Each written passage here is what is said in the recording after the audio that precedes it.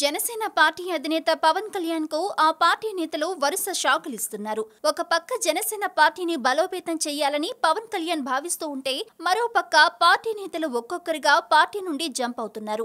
జనసేన అధినేత పవన్ కళ్యాణ్ రాజకీయాలతో పాటు సినిమాలు కూడా చేయాలని నిర్ణయం తీసుకున్న నేపథ్యంలో జనసేన పార్టీలో కీలక నేతగా ఉన్న సిబిఐ మాజీ జేడి లక్ష్మీనారాయణ పార్టీని వీడి వెళ్ళిపోయారు ఇక తాజాగా పార్టీలో కీలకంగా ఉన్న మరో నేత పార్టీకి గుడ్ బై చెప్పి పవన్కు షాక్ ఇచ్చారు గాజువాక నియోజకవర్గానికి చెందిన సీనియర్ నేత కరణం కనకారావు పార్టీని వీడారు. గత ఎన్నికల సమయంలో పవన్ కళ్యాణ్ గాజువాక నుండి పోటీ చేయగా పార్టీ కోసం కనకారావు కీలకంగా పనిచేశారు. ఇక తాజాగా జనసేన పార్టీని వీడి కరణం కనకారావుతో పాటు రెండు వందల మంది జనసేన కార్యకర్తలు వైసీపీ ఎమ్మెల్యే తిప్పల నాగిరెడ్డి సమక్షంలో వైఎస్ఆర్ సిపిలోకి చేరారు. ఇక అంతేకాదు గాజువాక నియోజకవర్గంలో కీలకంగా వ్యవహరించిన నేత గాజువాక మాజీ ఎమ్మెల్యే జనసేన పార్టీ సీనియర్ నేత చింతలపూడి వెంకటరామయ్య కూడా ఐదు నెలల క్రితమే జనసేన పార్టీని వీడారు. గత ఎన్నికల్లో ఆయన పెందుతు నుండి పోటీ చేసి ఓడిపోయారు. గాజువాకలో జనసేన పార్టీ బలోపేతానికి కృషి చేశారు. నియోజకవర్గంలో లక్షకు పైగా సభ్యత్వాలు రావడంలో కీలక పాత్ర పోషించారు.